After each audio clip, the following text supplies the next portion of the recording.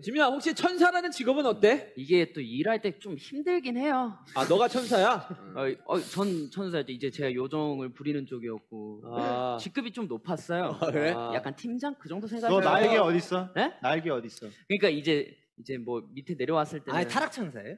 아 타락 아, 천사. 또야 떨어졌구나. 거기서. 우리 우리 업계에도 그 타락 파워 전사라고 굉장히 유명하셨던 분 있어요. 남준아 결혼하자 저 그렇게 싫어. 좋아. 지민아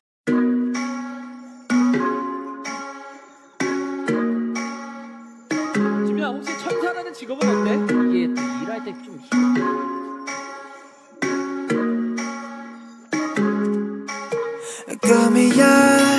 꿈이었을까 넓은 것 같아 눈 뜨면 다시 아무도 없는 밤 가만